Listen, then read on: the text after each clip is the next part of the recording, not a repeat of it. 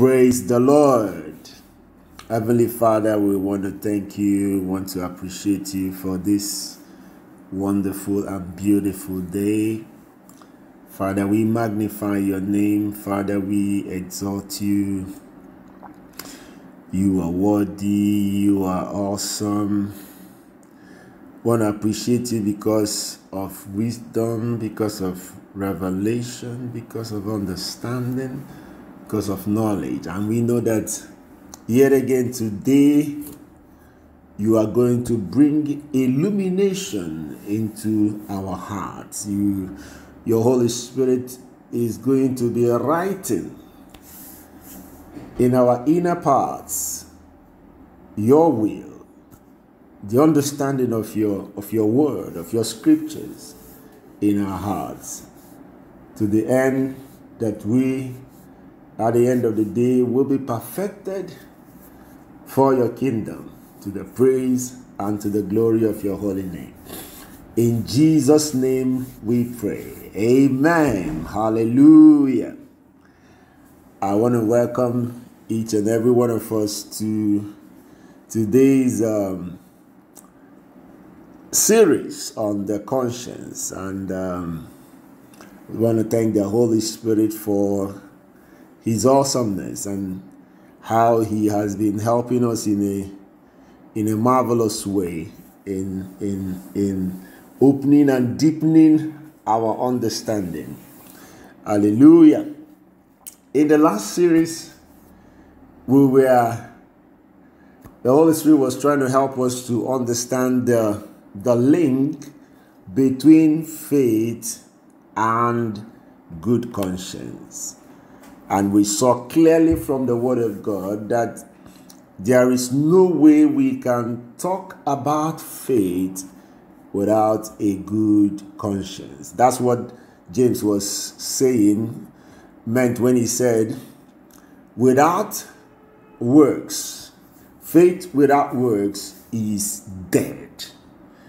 You cannot have faith without a good conscience. I, I don't know if, if there's any way the Holy Spirit can register that in your heart. I mean, that's the, the most merciful thing that can happen to you today. If if you can get a clarity of what the Holy Spirit is saying. Hallelujah.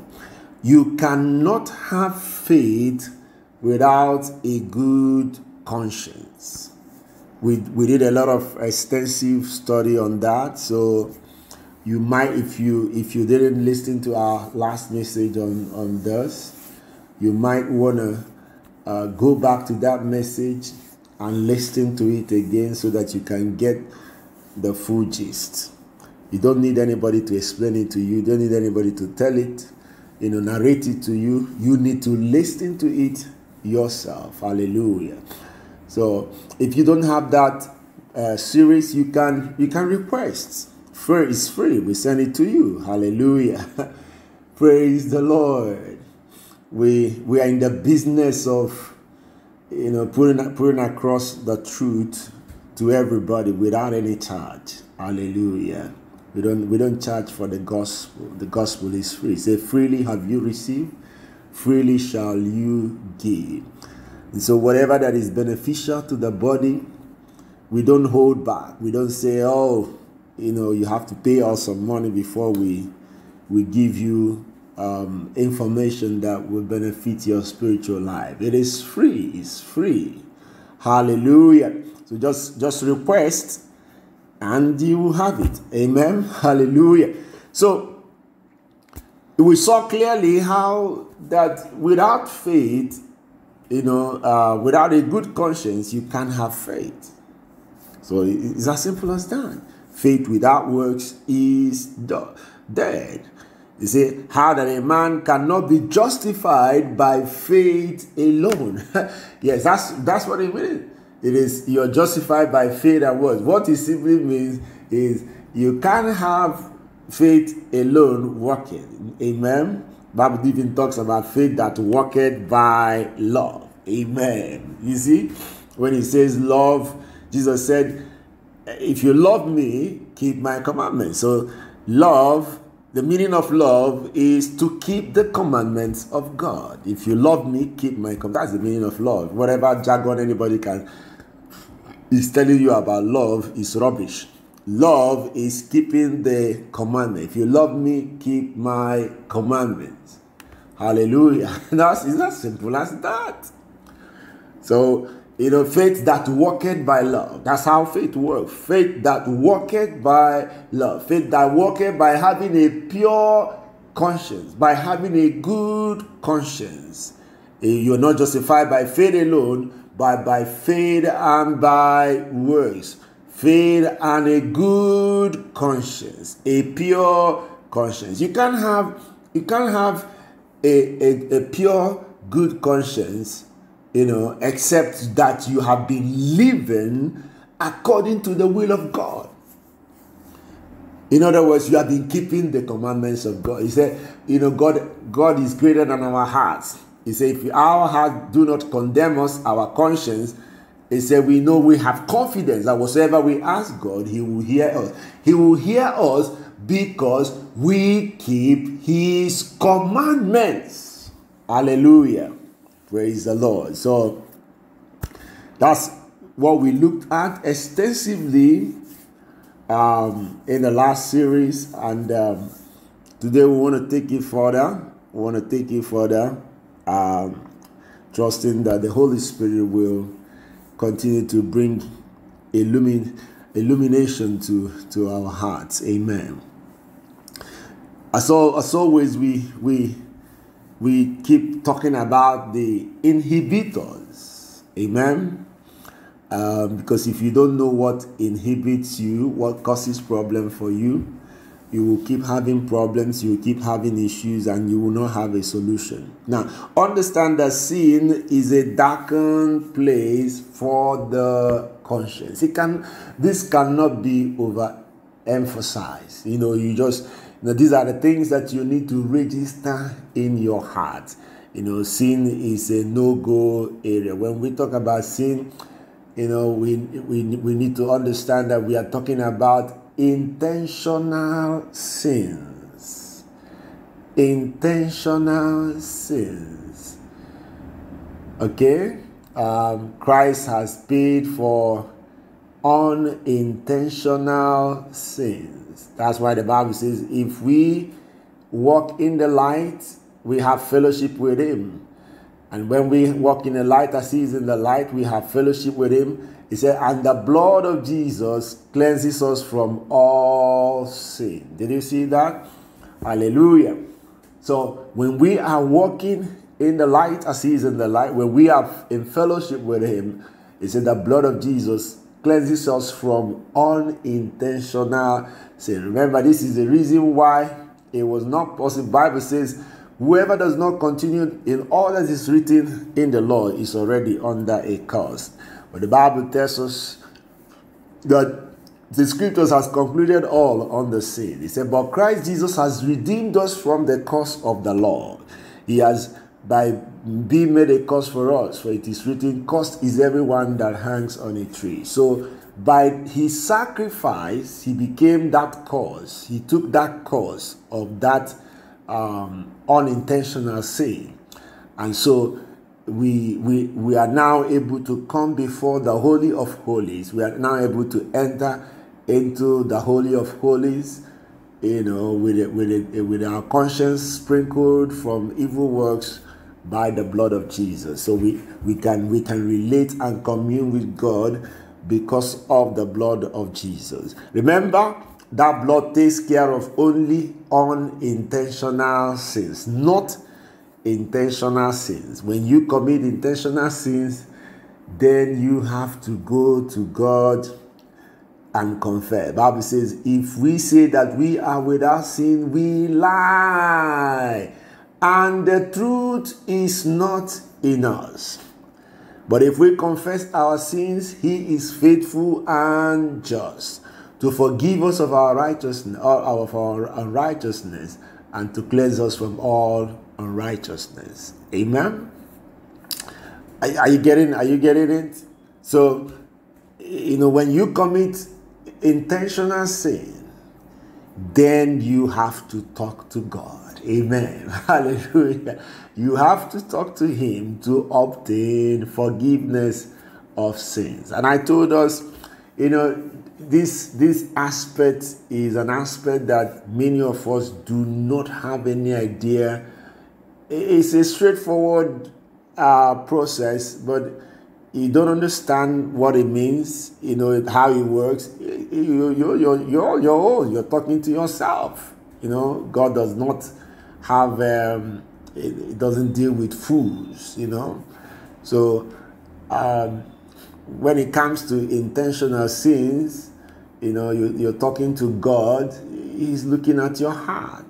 Bible says a, um, a, a, a broken heart and a contrite spirit He will not despise. So, for you to be forgiven of um, intentional sins, that means that you have to be in a place where you have, you know, you are sorry for what you did being sorry for what you did, you are coming to God, and God can look into you. That's what we talk about good conscience.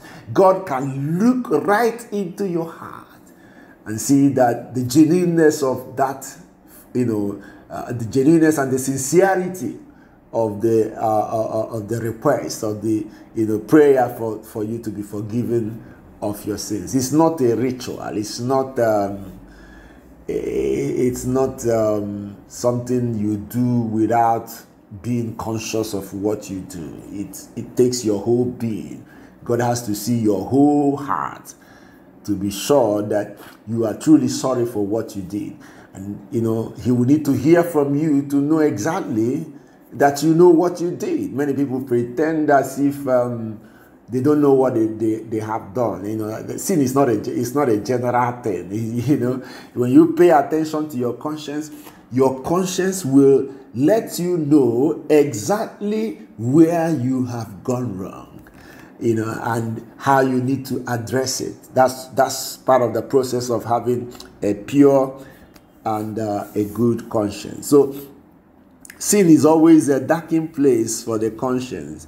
You know and um, you know, I want to say this: the the conscience does not need to fellowship with darkness. Amen. Stop um, putting your conscience in a place where it has to be fellowshipping with darkness because it, it doesn't help you. It doesn't help you. What it does is that it only ends up making your soul vulnerable to pain and uh, sorrow. Are, are you getting it?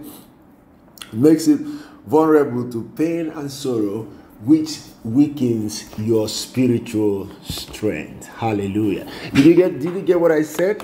You know, it weakens your spirit. Remember, remember that's what that's what a lot of people don't understand. I I, I talked to us uh, um, briefly on on who we are.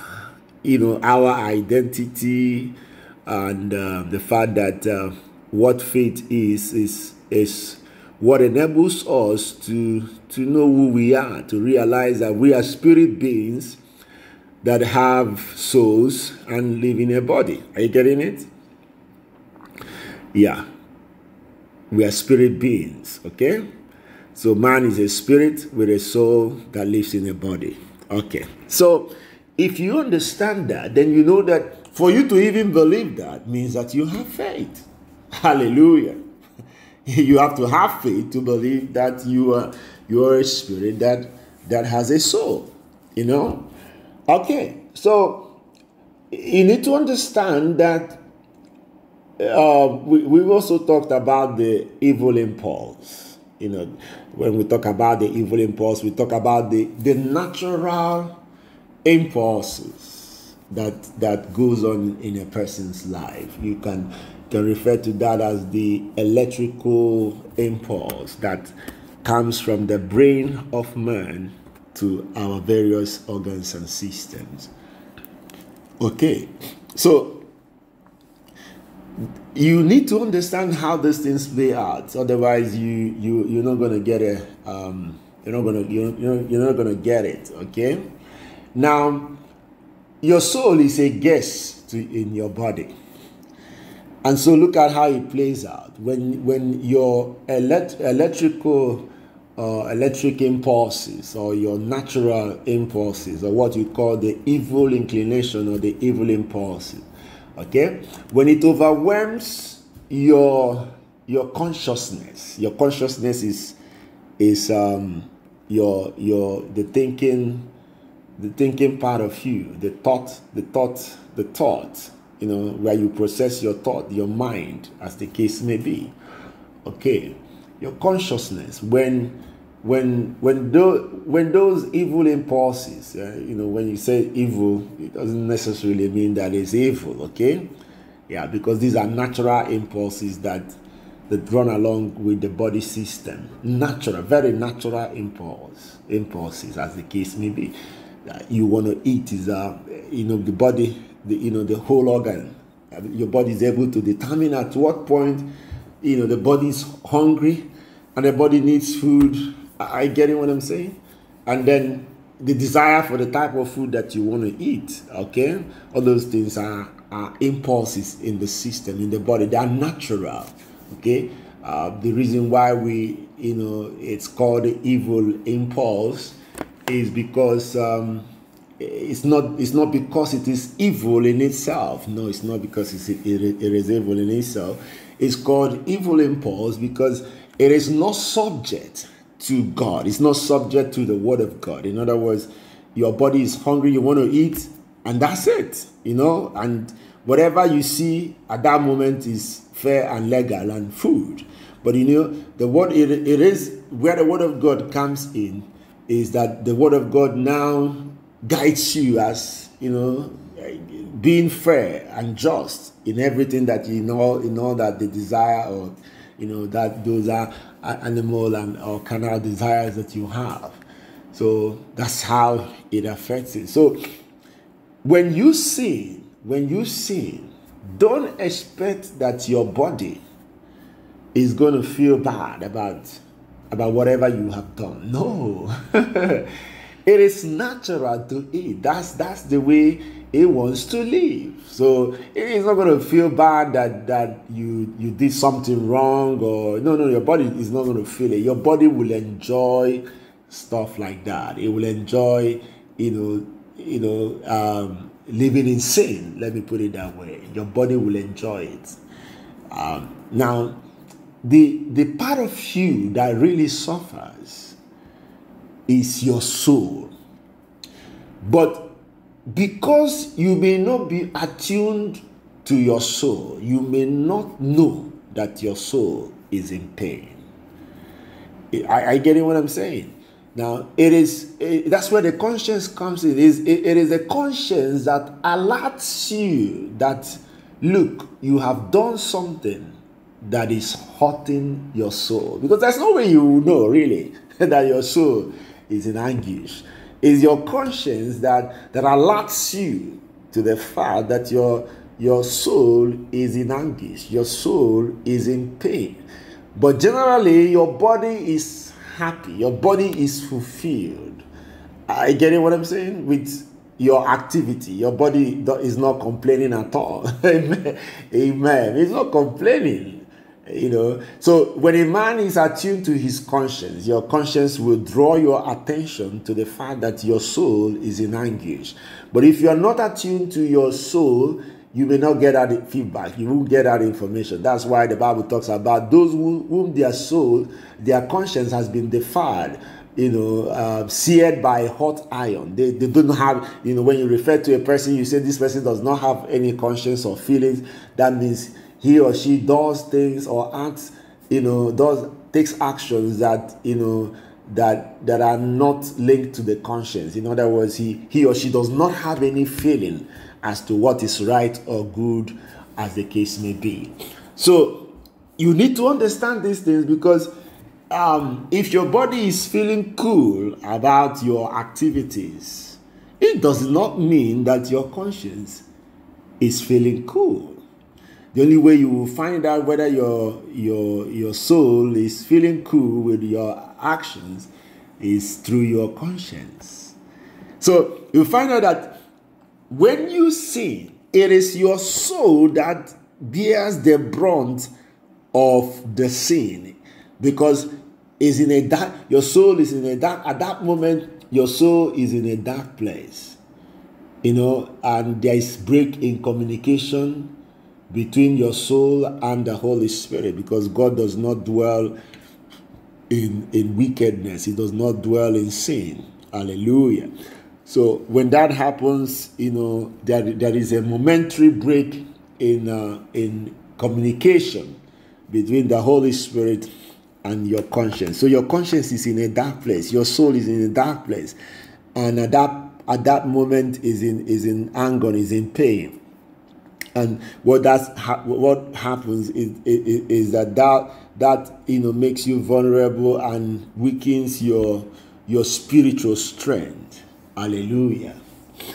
So that's why sin is a no-no. That's why you know the, the more you become conscious of your conscience the more you you begin to paul said i exercise myself to have you know conscience a conscience that is void of offense toward God and toward man. You know, when that becomes the way that you live your life, the standard by which you live your life. In other words, you are enlightened, you are and eh, you know you are tuned to your to your consciousness you are tuned to your soul you know so you you you you you are feeling your soul as it were so um, when that happens, you find out that um, the, the, that, that is the new man that has, you know, taking control because that's that's that's really what this thing is. Remember, we keep forgetting this. Remember, God gave us this body as a gift, a wonderful gift from God to man to enable us to accomplish His will here on earth. And hear this what is His will? The reason why the, the soul has been sent on this journey is because God desires that your soul will grow and be perfected. Are, are, you getting the message? This is the will of God that your soul will grow and develop and be perfected. So that is the business that your soul has with your body. So your body is a vehicle, your body is the house, you know, that enables enables that growth, enables that development, enables that perfection. Remember, it's all about the soul. Now, but the wisdom, like we talked earlier, is that in as much as your business here is about the development, the growth and development of the soul. You also have to maintain the vehicle that is enabling that development and growth. You cannot be um, too righteous to now neglect the vehicle that is the body. That's where the problem is. There has to be a balance in whatever that you're doing. You know, um, you can't be too righteous. You can't. You can't. That's an extreme. You go to the other extreme. Then you, the other extreme is forgetting about the reason why you're here and you know getting carried away with the vehicle that has been given to you are, you getting what i'm saying and then you that's another extreme you you, you know when you get up to that that's what the bible says remember he said having food and raiment be content. You know that the reason why you know that scripture now comes alive in First Timothy chapter six. He said, "Having food and raiment, be content." Did you see that? Now you have to understand that this is the basic requirement of the body. That's what he's talking about. That this is all that the soul requires. You know, you, you're getting the picture now. You're getting the, the understanding of that scripture. Having food and raiment be content. Did you, did, you, did you get it? Now he's telling you that that is all that your body needs food and uh, raiment, you know, the ba- basic uh, necessities of life. You see, and once once you have that, you know, that you know, you that cannot be compromised. Because if you don't feed your body, if you don't feed your your body, don't take care of it by feeding it well, you're gonna have problems. He say having food and raiment, very important. There has to be a balance. Are you getting what I'm saying?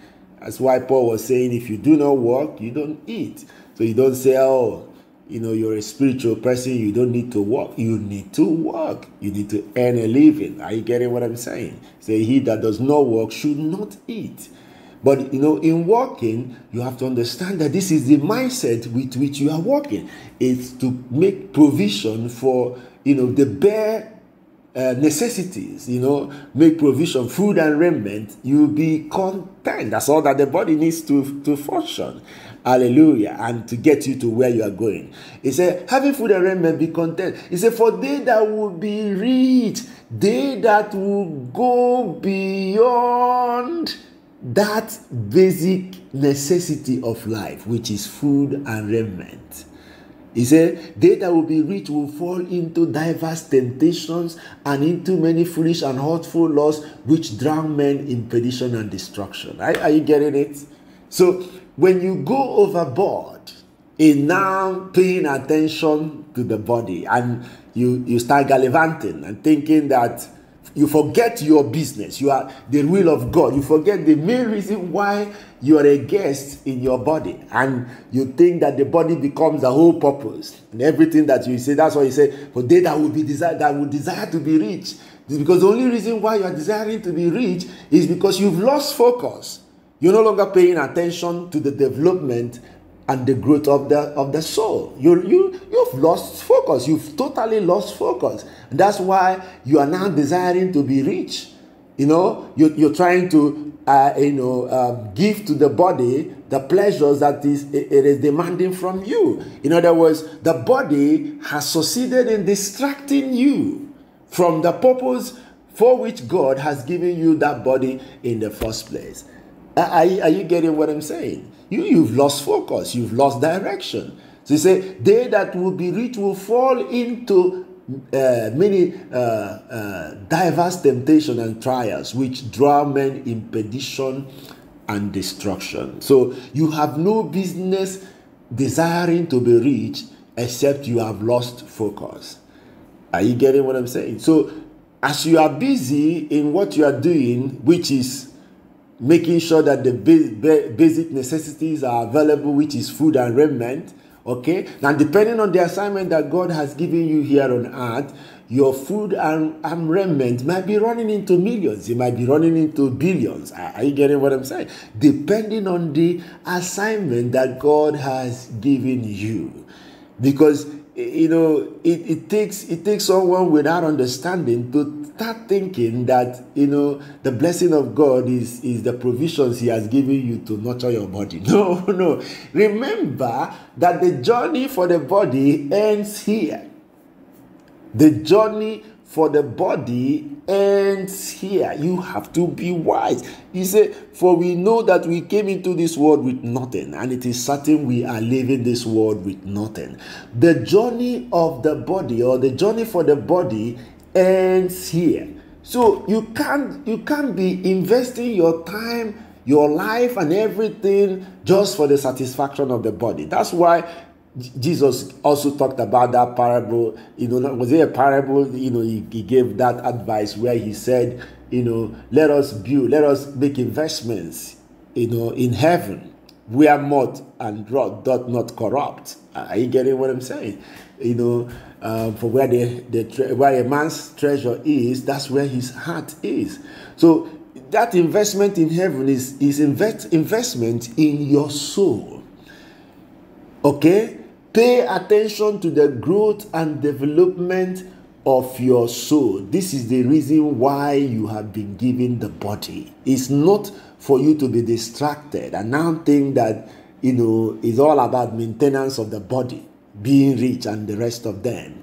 Now if you if you get distracted you're going to drown in perdition and destruction. That's why he said the love of for the love of money is the root of all evil. He said why as many coveted after you see the reason why they're coveting after because they have lost purpose. He said why as many have coveted after they have made a shipwreck of their faith did you see that? They've made a shipwreck. In other words they disconnected with their conscience and in disconnecting with their conscience, they have again made a shipwreck of their faith. That will not be your portion. That will not be the, you know the reason. So, but you need to understand that if you don't get the picture, if you don't understand why you are here, you are definitely bound to enter into a lot of errors. So you need to stay focused. You need to understand that God has given you this body, a wonderful gift, very wonderful gift. And this body, as, as much as it is wonderful, is not immortal the, the journey of the body ends here. So you can't be you can't be carried away to now concentrate all your energy on something that his journey is terminating here. But when the journey of the body ends here, that of the soul continues. So if whilst you are here, you whilst you're on your journey here, and all that you have been doing is about taking care of the body, that means you have changed your soul. that's that's it. You you you should change your soul. Look at look at it in um, look at it in, in Ecclesiastes chapter 12. Ecclesiastes, the book of Ecclesiastes, chapter 12, verse 7. Ecclesiastes chapter 12, verse 7. It says, then shall the dust return to the earth. Did you see it? Your body is going to return to the earth as it was. Because you were formed from the dust of the earth. That's where your body came from. Hallelujah. He said, Your body is going to re- return to the dust of the earth as it was. And then the spirit shall return unto God who gave it. Did you see that? Your spirit will return to God who gave will, will, will put your, your soul in your body. So your, your spirit will return to him. And the journey of the body will end here. So if you have shortchanged yourself by not paying attention to the development and to the growth of your spirit, of your soul here on earth, you have only shortchanged yourself. That's that's the gospel. You know, a lot of people don't understand what the gospel is all about. This is the gospel. I don't know what else you think the gospel is all about. The gospel cannot be about how you are going to be all you can be and get all you can get. And it's not about this uh, body that is journey ends here. Getting all you can get and being all you can get. How does it benefit your soul? How does your soul benefit from it? Are you getting it? Because all that your body needs is food and raiment. Okay? And then the soul can get to get to its work. But if you keep distracting yourself with earthly pursuits, that means that the, the soul will not have enough time to concentrate on its own business, which is the building and the growth and the development and the perfection of the soul. Hallelujah. Praise the Lord. this is this is what, what it is all about. Okay, let's see let's see something. You know, go and go go uh, you know along in uh, Hebrews chapter thirteen from verse fifteen to eighteen. Um, it says, "By him, therefore, let us offer the sacrifice of praise to God continually. That is the fruit of our lips, giving thanks to His name." But to do good and to communicate, forget not, for that with that such sacrifices God is well pleased. Obey them that have the rule over you and submit yourselves, for they watch for your souls as they must give account, that they may do it with joy and not with grief, for that is unprofitable for you. Did you see that? He said, Pray for us, for we trust that we have a good conscience in all things, willing to live honestly. Did you see that? He said, Obey them that have over rule over you, submit yourselves, for they watch for your souls. Did you see the soul? It's the soul. It's the business of the soul. It's the soul. It's the soul.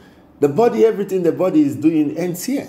It's not immortal. There's nothing, you know, so it doesn't make sense. There's nothing that you you can do to get the body to become immortal. There's no there's no investment. There's no time you will give to the body. There's no power. There's nothing that you can do that will make this body become immortal. The journey, his journey ends here.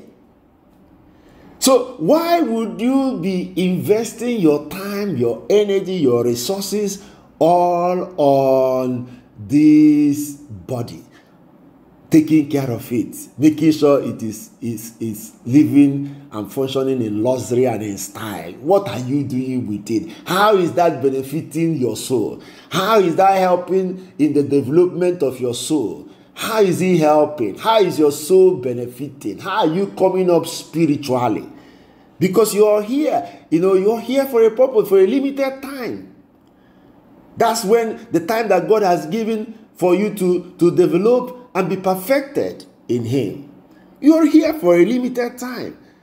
What are you doing? What are you doing? Have you asked yourself? Are you getting it? Okay, in First Peter 2 17 to 25, he said, Honor all men, love the brotherhood, fear God, honor the king. Servants, be subject to your masters with all fear, not only to the good and gentle, but also to the forward. For this is thank, thanks, thankworthy if a man for conscience toward God endure grief, suffering wrongly, for what glory is it? Did you see that? So, for the sake of the conscience, which is the glory, okay, uh, because of the soul, um, you can endure. You know, the scriptures is asking you to endure grief, even to suffer wrongly. you know, in other words, you can be in situations and circumstances that is not comfortable for, for the body. You know, you can allow things, you can overlook things because you know that, you know, it's, it's not all about satisfaction of this body, having your way. Okay? It's all about your, you don't want anything to stress your conscience. You don't want anything to stress your soul. You don't want your soul to be in anguish and in pain. That's why the Bible talks about anger. Say, uh, you know, anger li- li- uh, lies in the bosom of fools. Okay so don't allow the sun to go over your your anger you know but immediately you know allow it to go because your soul can't can't function in that in that state of being angry. So god says forgive forgive let go let go try and let go. You know when you understand that it's not about your body satisfaction of your body and your body having its way okay then you you now understand that it is for the peace of your soul that you have to do stuff so he said now you can suffer wrong, you can suffering wrongly, enduring grief. Yeah, he said, For what glory is it when you are buffeted for your faults, you shall take it patiently. But if when you do well and suffer for it, you take it patiently. Say, okay, just make sure that you are suffering because of um, of the conscience or the sake of the conscience. Not you have done well, but it's not appreciated, and for for that case reason you are suffering and the rest of them. But let it not be because it's something that you have done. He said, For even hereunto were you called because Christ also suffered for us. Did you see that? Leaving us uh, an example that you should follow his steps. Who did no sin? Did you see? Neither was guy found in his mouth. Who, when he was reveled, reveled not again when he suffered, he treaded not, but committed himself to him that judgeth righteously, who his own self bare our sins in his body on the tree, that we being dead to sins should live unto righteousness, by whose stripes you were healed. For you were no as sheep going astray, but are now returned unto the shepherd and bishop of your soul. Hallelujah. Did you see that? The shepherd and the bishop of your souls. That's who Christ is. So, eh, as long as you are mindful of the business of the soul, Christ is your bishop and your shepherd. Okay, but if you if your business is about uh, the uh, the earthly things, the worldly things, getting the world, uh, Christ is not your bishop and your shepherd. Are you getting it? He said, whose God is their belly, will mind earthly things. So if your business is about minding earthly things, Christ is not your bishop, neither is he your shepherd. Okay? So he's the bishop and shepherd of those who are mindful of their souls. Amen. Who are doing everything to make sure that their soul is developed and that their soul grows and is perfected. Did you see? And then he talked about Christ being our example. Amen. Christ being our example. So, so this is very important. Quickly, quickly, let's um, let's go to uh-huh. Let's go to First Peter chapter 3 from verse 12. First Peter chapter 3 from verse 12. We read, uh, For the eyes of the Lord are over the righteous, and his ears are open unto their prayers. Okay? Did you see them? He said, But the face of the Lord is against them that do evil.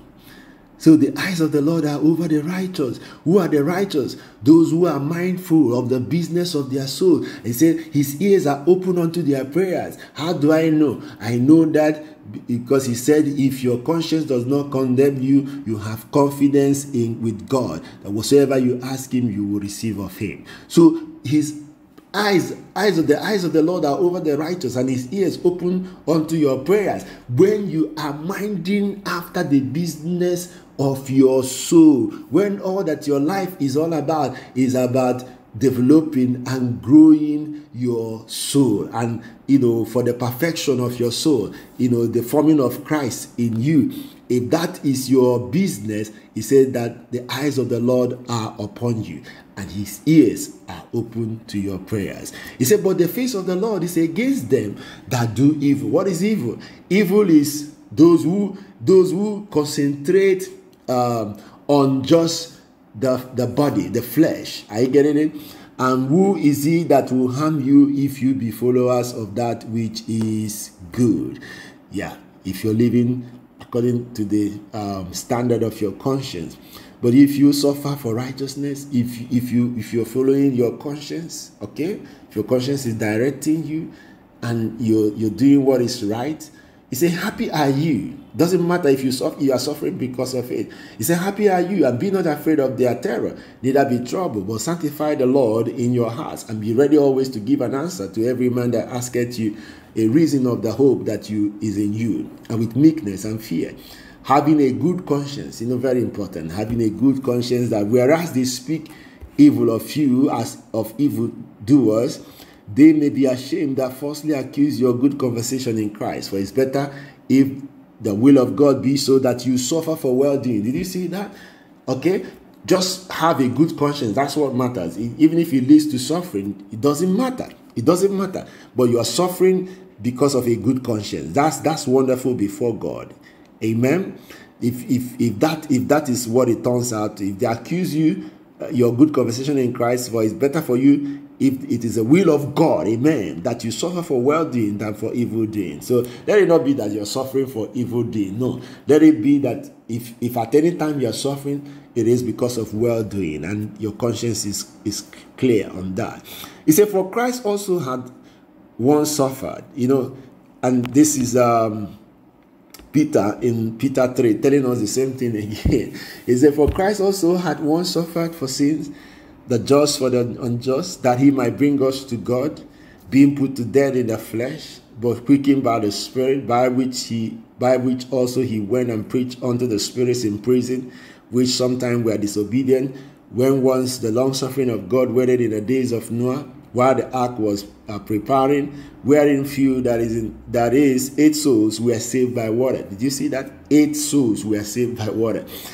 The like figure whereunto even baptism doth also now save us, not the putting away of the filth of the flesh, but the answer of a good conscience toward God. Did you see? So baptism is is you, you know, telling God that going forward, I'm going to live by the standard of my conscience. Hallelujah. He said, by the resurrection of Jesus Christ, who is gone into heaven and is on the right hand of God, angels, authorities, and powers be made uh, subject to him. Now, uh, in Romans chapter 8, we see something. It says, um, There is therefore now no condemnation to them who are in Christ Jesus who walk not after the flesh, but after the spirit. This is like um, is like a summary of what we've been talking about.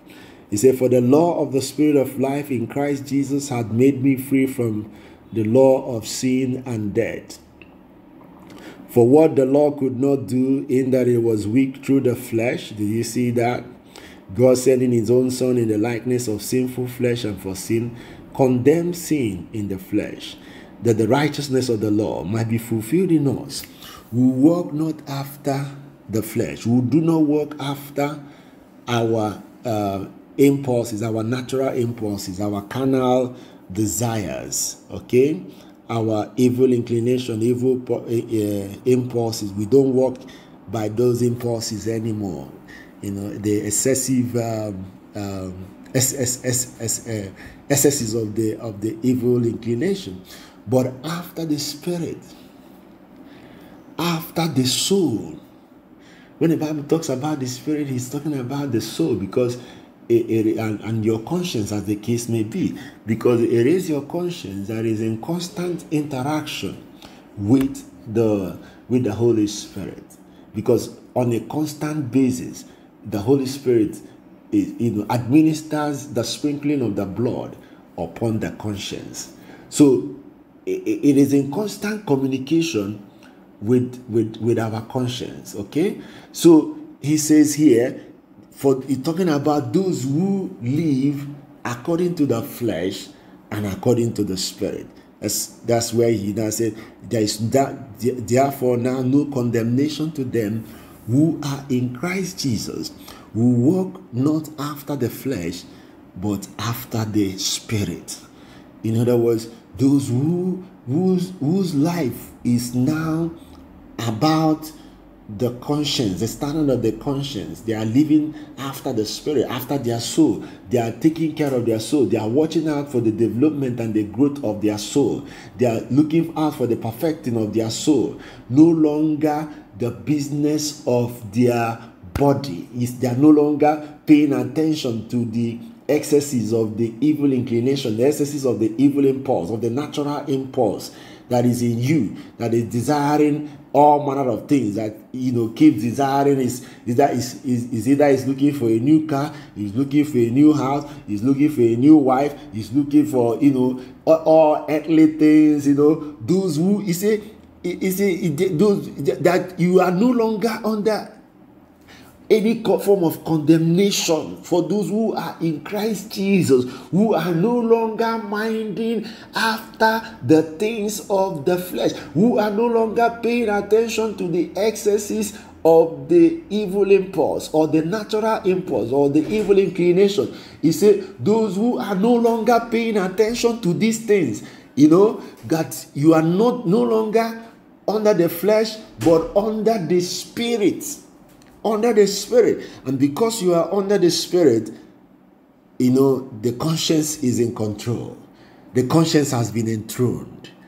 And if at any time the conscience is enthroned, it means that you are no longer under any form of condemnation whatsoever.